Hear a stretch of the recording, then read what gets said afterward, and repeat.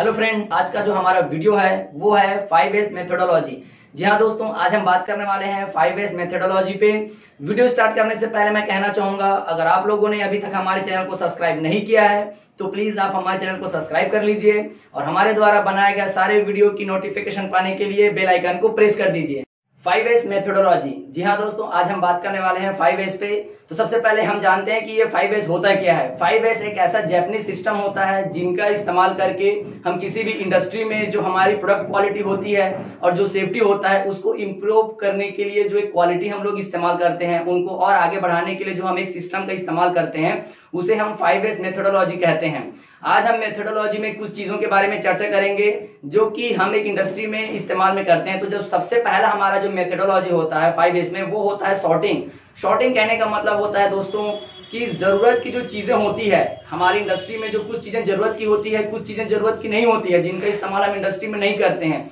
तो उनको शॉर्टिंग करके मतलब उनको अलग अलग जगहों पे व्यवस्थित करने की जो प्रक्रिया होती है, उसे हम शॉर्टिंग कहते हैं।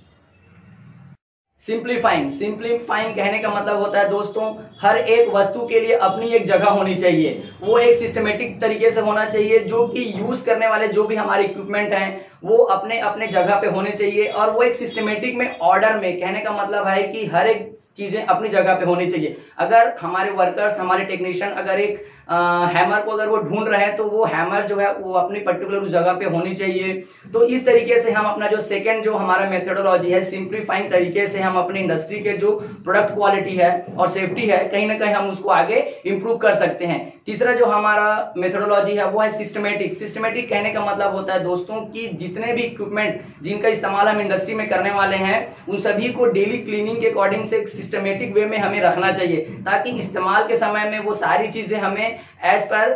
टाइम के अकॉर्डिंग से हमें वहाँ पे वो अवेलेबल हो सके। तो ये हमारा तीसरा मेथोडोलॉजी है। चौथा जो मेथोडोलॉजी है वो हमारा स्टैंडाइजेशन कहने का मतलब होता है दोस्तों आ, दोस्तों कि इंडस्ट्री में जितने भी हमारे एक्ट एंड लॉ या जो हमारे रूल्स बने हुए हैं जिनसे कहीं ना कहीं हम हम अपने इंडस्ट्री के जो प्रोडक्ट क्वालिटी है, या कहने का मतलब जो सेफ्टी इंप्लीमेंटेशन की जो बात आती है, उसको किस तरीके से हम वहाँ पे इम्प्लीमेंट करवा सकते हैं, कैसे उसको और बढ़ा सकते हैं तो जो हमारा चौथा जो मेथोडोलॉजी होता है, वो होता है स्टडाइजेशन